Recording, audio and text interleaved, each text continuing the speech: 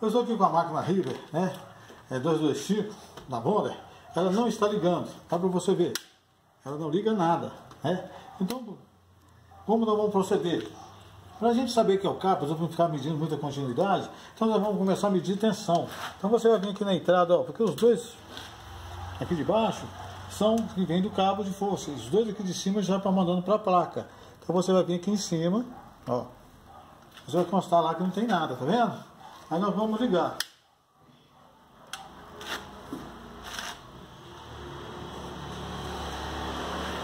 Ó, tá vendo? Chegou a tensão. Agora eu vou desligar. Eu tenho um plástico aqui, ó. Desligou. Então liguei, dei tensão, mas não deu nada, tá vendo? Beleza. Então vamos ver aqui, aí nós vamos vir, vir aonde? Aqui. Então nós vamos vir aqui, ó. Né, que aqui é da entrada aqui do neutro. Né? Então vou pôr aqui, ó. E esse vermelho, aqui ó, os dois aqui tá vindo aqui, ó. Esses dois aqui tá vindo de lá. Esse vermelho aqui, como você quer ver, é o, é o GND.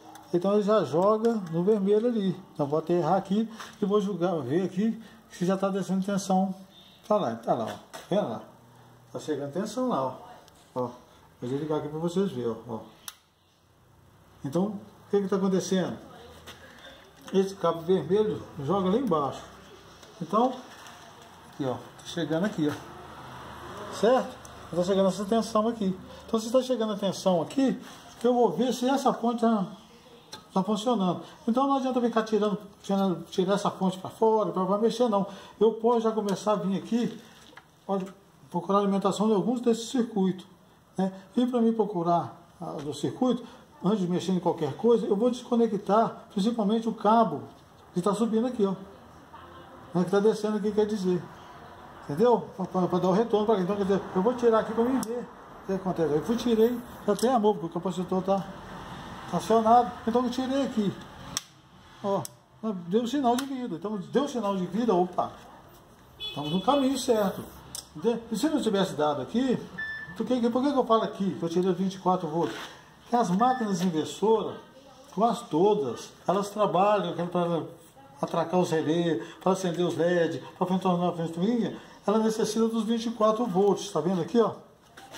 Nós temos os 424 volts aqui, que tem esse, esse transistor grande com esse transformador chaveador. Então, como eu estou falando, estava falando aqui, esse transistor maior aqui é o chaveador, tá vendo? Esse aqui, o chaveador desse transformador. Esse transformador, no caso dessa máquina, ele gera os 24 volts. Para sair aqui, para alimentar essa plaquinha, para alimentar esses relés, para alimentar também a ventoinha, tá? Alimentar a ventoinha. Então, quando esse 24 ele aciona, aí que a máquina vai ligar.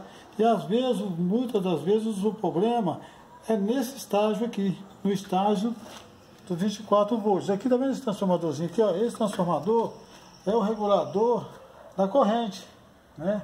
Então você pode encontrar eles assim. Aqui tem uma placa aqui, né, da máquina, não, mas você pode encontrar ele assim, tá vendo? Em algumas máquinas você vai ver ele dessa forma. E aqui ele também, é, ele faz o controle ali da, da amperagem. Então, depois que sai desse transformador 24 volts, se isso aqui, tá vendo? Costuma ser de 12 volts a alimentação desses MOSFET, que é os MOSFET que vai mandar o pulso para o transformador para armar, para disparar as IGBTs, então chega atenção neles também, tem que chegar atenção neles, está me entendendo? No dreno deles, né? Então vem todos dessa tensão desse transformador de 24 volts. Se muitas das vezes a pessoa não tem esses 24 volts, essas relés não vão acionar. Então geralmente quando você pegar uma máquina e ela não está ligando, né? Eu costumo fazer assim, da primeira coisa que eu, eu começo a medir, aonde eu começo a medir, primeira vez eu vejo que está entrando tensão, onde está chegando tensão, mas eu vejo que ela não está disparando, eu vou aqui nessa, nessa, nessa fonte. É um dos macetes. Então vem nessa fonte e descubra que aqui, porque é aqui que vai sair a tensão para todos esses componentes que nessa placa aqui de controle, tá entendendo? Nessa plaquinha aqui, então vem tudo daqui, tá ok? Então, essa primeira, a primeira aula desse, dessa fonte aqui, mais ou menos dessa fonte, vou passar para outra, vou mostrar também no segmento, vou mostrar para vocês, que nós vamos estudar principalmente essa parte da, da fonte de 24 volts, ok? Então, nós estava explicando aqui, ó, então aqui é a fonte, fonte de alimentação, né? Aqui. É a fonte de alimentação. Isso aqui, isso aqui. Aqui é a fonte de alimentação, né? Mas aqui, ó, eu vou mostrar para vocês aqui. Entra aqui da, da, da chave, entra aqui, tá vendo? Nós temos aqui os dois relés, né?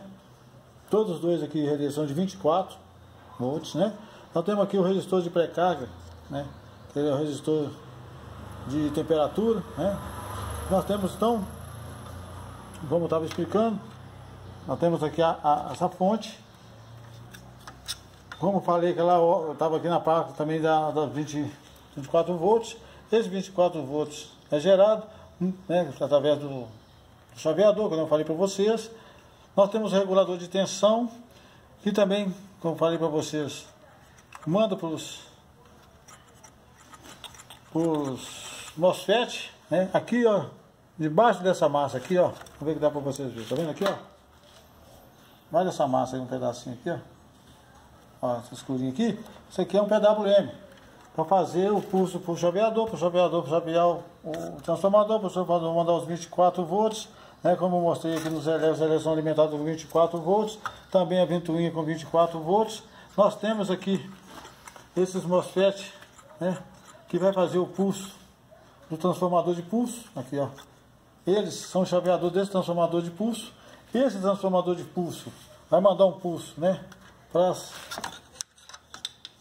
IGBTs, né, tem duas IGBTs aqui e duas IGBTs aqui, né, são dois IGBTs, são quatro IGBTs, aqui, essa plaquinha você está vendo aqui, ó, tem os diodos, né, e também tem os resistores, que às vezes eles podem alterar, quantas vezes quando entra em curto aqui, ó, eles podem alterar. Então não é só trocar, às vezes a pessoa só vê que em curto só troca ele.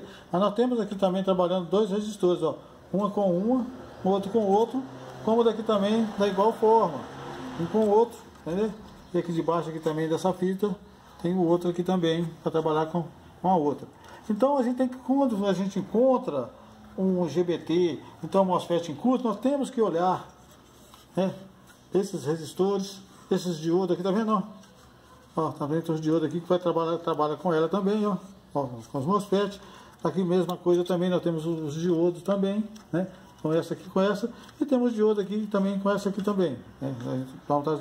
Mas aqui tá vendo? Esses componentes vocês têm que ver. Então manda o pulso para cá, né? O pulso manda para os MOSFET os MOSFET manda para os aí manda para o transformador. Né? Aqui tem um transformador aqui de alta, alta, de alta frequência que fica né? aqui dentro. Né? Não dá para mostrar ele aqui agora. Aí manda, aí manda os diodos de saída aqui, tá vendo? Aqui nós temos três diodos de saída aqui, ó. Três aqui. Tá vendo? Aqui.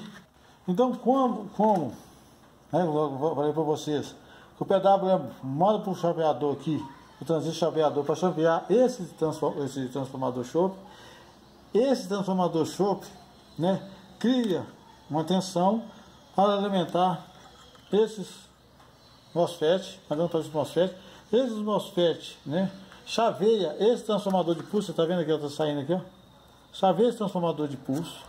Esse transformador de pulso, né, manda o pulso os MOSFET. Os MOSFET chaveia o transformador. O transformador manda, né, que eu já falei com vocês, ele cria um campo magnético, cria uma tensão no secundário. Né? Essa tensão passa pelos os diodos retificadores, né? da saída, que tem quando tem três aqui, como aqui também tem três aqui, entendeu? Manda, manda para eles, passa pela essa bobina aqui, a bobina de saída, entendeu? Tem aqui também o fio de realimentação, né, para realimentar aqui a placa, né? Então, como você vê que você acompanhando, não fica difícil de você entender. Né? Então você vai ver sempre o chaveador, o chaveador desse transformador, o chaveador desse transformador, o chaveador desse transformador. Então todos os, os transformadores que tem aqui, eles têm a chave, entendeu? Eles não deixam de ter chave. Esse é a chave desse, esse é a chave desse, esse é a chave desse, entendeu? E esse aqui é a chave desse, né? Para sair aqui, como ele é de, de alta frequência, transformador de alta frequência, para é, e baixa tensão, né? Que eu já expliquei em outros vídeos, para sair aqui. Tá vendo? Aqui é a bobina. Então vai sair aqui. Uma tensão aqui, ó. É, é como eu tenho explicado no outro vídeo. No primário dele, 300, 350 volts. Na saída, dependendo da máquina, 80, 75, mas isso vai depender muito da máquina, da tensão. Mas aqui 300, 350 com uma corrente baixa. Aqui já sai uma tensão baixa com corrente alta, né? para ver a, a, a soldagem. Então, isso aqui é para vocês entender. Então, em outros cursos, nós vamos mostrar para vocês, em outras máquinas, o mesmo procedimento, né? mas algumas coisas diferentes, para vocês começarem a, familiarizar com, com o aparelho. Né? Aí vocês tendo conhecimento como funciona, como funciona, aí depois nós vamos mostrar também como pedir atenção e as peças, tá ok? Agradeço a todos vocês.